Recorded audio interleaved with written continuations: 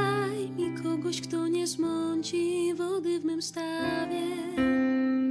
Kogoś, kto nie pryśnie jak zły sen, gdy ryb w mym stawie zabraknie.